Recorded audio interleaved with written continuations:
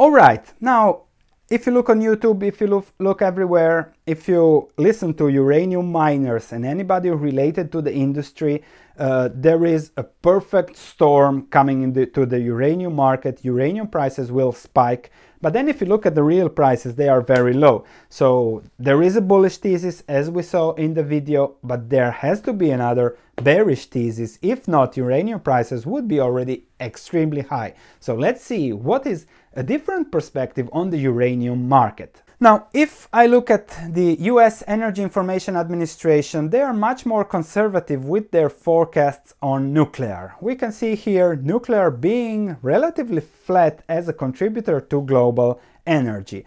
Bloomberg sees a significant increase only from 2025 onwards and then from 2030 a decline in the actual contribution of nuclear energy as the old generators are phased out. Further, the energy transition outlook sees an increase over the next five years as probably the Japanese reactors restart, but then a decrease again over the long term. So we have already three institutions that tell me that nuclear will be used less and less.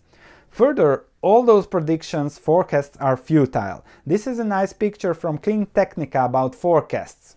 It was forecast that we would reach 0.45 gigawatts of solar power on the grid by 2035. In November 2013, we reached 7.11 gigawatts.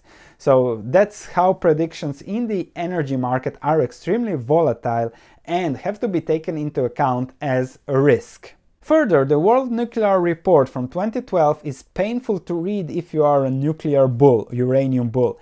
A thing that the bulls forget to mention is that much of the current production nuclear energy production is getting old. Lifetime of a mine is uh, lifetime of a generator is usually 40 years and most of them were built in 2000 in the 1980s so as I am so are the generators approaching 40 years which leads to them be, being phased out and you can see how without the new generation generators coming up slowly slowly nuclear energy will not be produced. In the 1980s there were about 200 generators on average in construction, now we are only at 50 which is 25% of what was the case a long long time ago. So really either production, either construction of generators ramp, ramps up or demand for uranium actually goes down. Also, as I said, the age distribution of operating nuclear reactors is pretty much skewed on old, old, old, old, and you need a lot of investments to replace them. And there is more, more investment going on in the solar industry.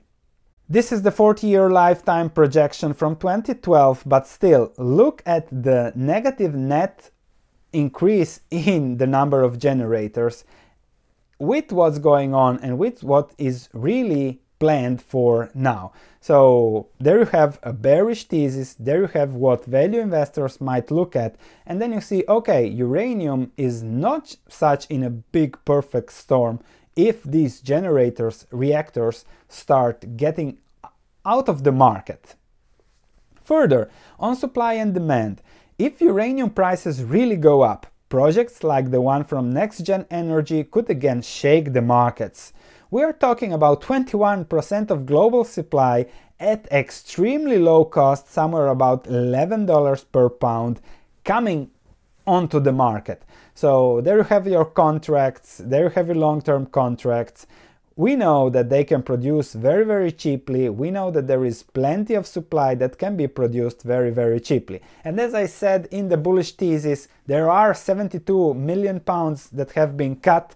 Those pounds can be easily brought back to the market and then you have again a disaster for uranium prices. Further, has a nice uranium supply surplus deficit that shows that assuming long-term cuts, the 72 million cuts, there will be a deficit in the market. But if there is a deficit, if prices go higher, then I think those cuts will be reverted and there will be new supply. So it's not really sure that, that there will be a deficit. Because if Kazatom decides to ramp up production at 35 to prevent other players to enter the market, the balance might not go to 50, but might stay at 35 or 40. and a lot of projects might not be that profitable at 30 dollars per pound as they would be at 50 what everybody expects in this case the ArrowWorks project from NexGen.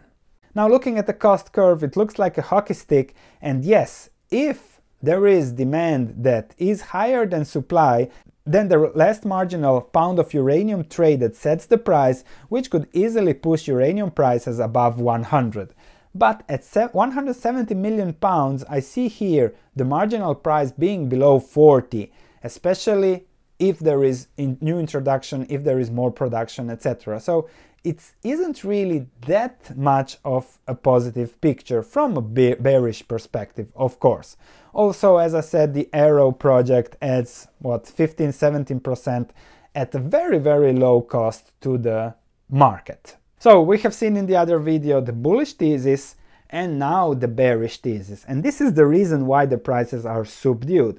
But this still doesn't mean a lot. Now we have to compare the bullish thesis, the reward, the bearish thesis, the risk, to what is priced into the stocks that we can invest in. And that will make that is what I will discuss in the next video talking about uranium stocks.